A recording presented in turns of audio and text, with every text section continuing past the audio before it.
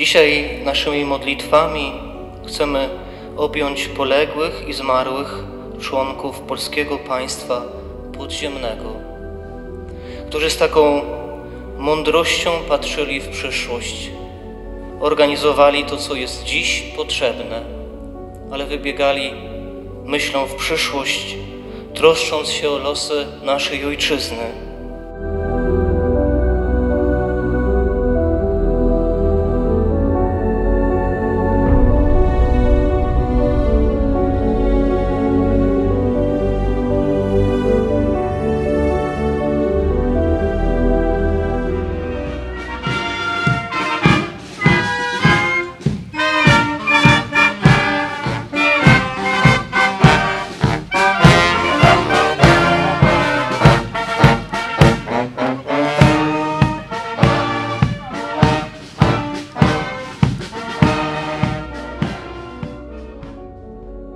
Kiedy rozpoczęła się II wojna światowa, miałam 13 lat. Tyle, ile teraz ma mój najmłodszy brat Rafał.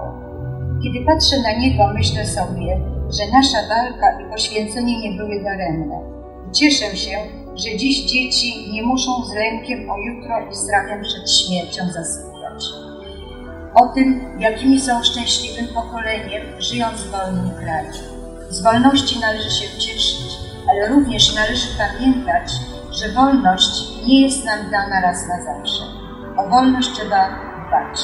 Dzień Polskiego Państwa Podziemnego e, to e, święto ustanowione w roku 1998 w rocznicę utworzenia pierwszej konspiracji wojskowej, jaką była Służba Zwycięstwu Polski, przekształcona później w Związek Walki Zbrojnej i Armię Krajową, ale ten dzień obchodzony 27 września to wyraz hołdu dla twórców, bohaterów, tych wszystkich, którzy włączyli się w struktury podziemnej armii, e, zarówno w te struktury cywilne, jak i wojskowe e, i zarówno na uchodźstwie, jak również w kraju.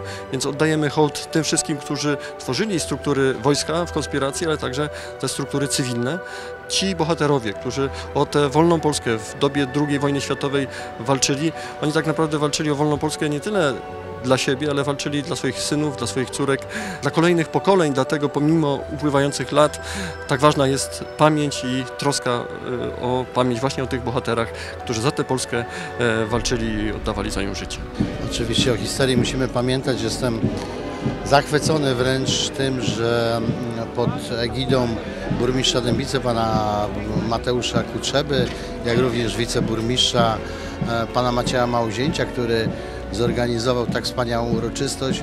Uroczystość po to, żebyśmy pamiętali, czcili i honorowali ludzi, którzy składali swoje życie, zdrowie na ołtarzu ojczyzny bez zastanowienia, dla, po to, byśmy dzisiaj mogli żyć w wolnym kraju. Za tą ich postawę, za miłość do ojczyzny, za braterstwo, wyciągniętą dłoń do drugiego człowieka chcemy dzisiaj pamiętać w naszych modlitwach upraszając u Boga dar Bożego miłosierdzia, bo jesteśmy świadomi jako ludzie wiary, że ten patriotyzm budowany był na relacji z Bogiem.